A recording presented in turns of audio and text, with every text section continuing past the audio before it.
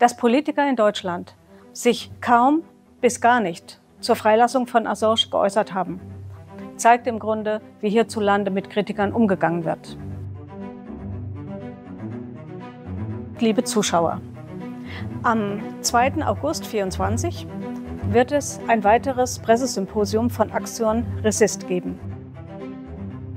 Schon Edward Snowden hat seinerzeit gesagt, wenn die Aufklärung von Verbrechen behandelt wird wie ein Verbrechen, dann werden wir von Kriminellen regiert.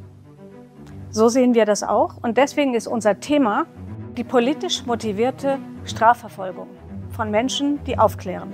Wenn man die Wahl hat zwischen 175 Jahren Haft und sofortiger Freiheit gegen Eingeständnis, dann offenbart das die Mechanismen des sogenannten Wertewestens. Es geht nur darum, von eigenen kriminellen Machenschaften abzulenken und Kritiker schuldig und unglaubwürdig zu halten.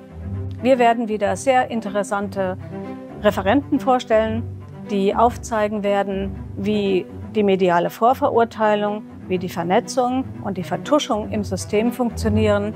Und wir werden auch aufzeigen, wie es möglich ist, dass Menschen untereinander massiv gespalten werden. Die Pressekonferenz kommt zum richtigen Zeitpunkt da jetzt alles an die Oberfläche gelangt. Was es jetzt also braucht, sind kritische Journalisten und kritische Bürger, die sich nicht von Angst treiben lassen, sondern von ihrem Gewissen.